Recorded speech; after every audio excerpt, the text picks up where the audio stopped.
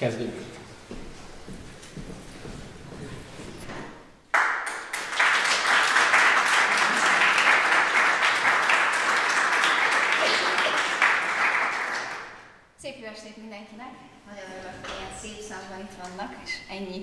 csodás, ismerős arc van jelen, ami külön öröm, mert nagyon szeretek jó barátoknak játszani.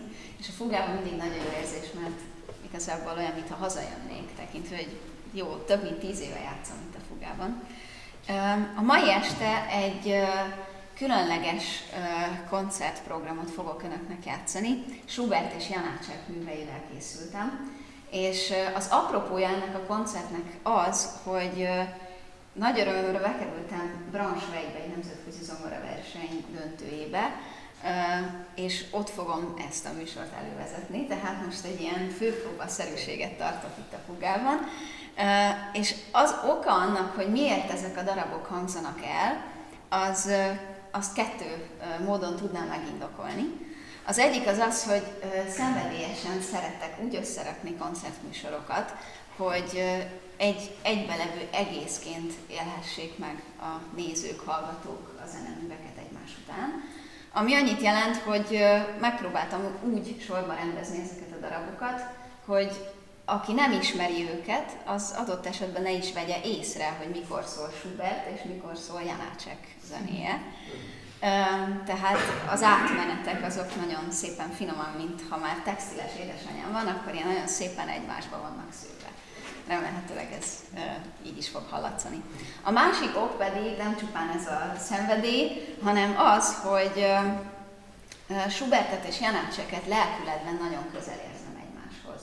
Az egyik, lehetne erre számos konkrét példát mondani, ez elsősorban egy intuitív, tulajdonképpen művészi koncepció, megérzés, ha lehet így nevezni, de, bocsánat, hogyha a konkrét indokokra kéne visszavezetni, akkor az pedig az, hogy Schubert is és Janácsek is nagyon nagy szeretettel merítettek ihletet a természetből egyrészt, másrészt pedig a beszélt nyelvből. Tehát Schubertről tudjuk, hogy talán az egyik legtermékenyebb dalszerző volt, Janácsek pedig a csenyelv dallamosságát, ha van neki ilyen, bocsánat, a csehül beszélőkhöz, meg jegyezném, hogy Krabál és Mencel és cseh kultúra rajongóként mondom ezt, de az a lényeg, hogy, hogy Janácsek kutatta a cseh nyelv lejtését, és annak az összes ritmikáját, dallamosságát belefoglalta a saját műveibe. Úgyhogy nem mondok semmi más, csupán azt, hogy örülök, hogy itt vannak és fogadják szeretettel a koncertet.